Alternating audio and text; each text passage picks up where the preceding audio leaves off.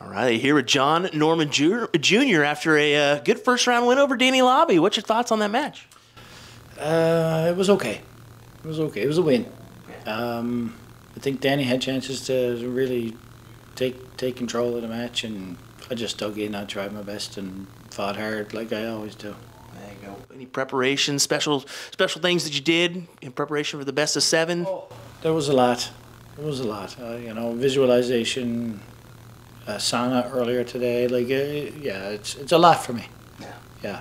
What do you think of the venue? Pretty impressive. Oh, it's it's probably the best venue I've ever played there, except for Ali Pali. I was about to say you've been on this big stage, sir. Uh, and you know Hull and with the World Masters against playing in top sixteen, but it's just such a really tight atmosphere with the with the balconies and the stuff. It's beautiful.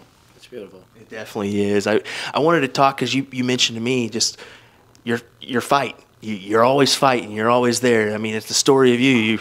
You've had some big moments on the big stage, and now you're here doing it again. What, what's your thoughts on your fight? That's me.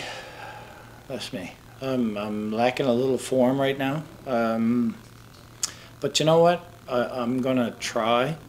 And I'm close. I was close. I was close to backing away and saying, you know maybe, maybe I'm not practiced enough. I'm not playing enough. But um, the people that love me the most and that, that support me, they got me out practicing. They got me out playing. They got me putting time on the board instead of me just in my basement. So, you know, it means a lot. And, and, and you know what? I know it means a lot to them. You know, they're rooting for us, right? Jake, too, and Keith. Like, we, we got Newfoundlanders here, man. We, we're, we're rock solid. We're, yeah, we're, three of them. I mean, that's pretty good. Yeah. I, wanted, I wanted to mention, too. Had three wins. I wanted to mention that. That's what I was saying the Nations Cup kind of seems to be on your mind. Was that on your mind out it there was. on the stage? Oh, I, I love representing Canada.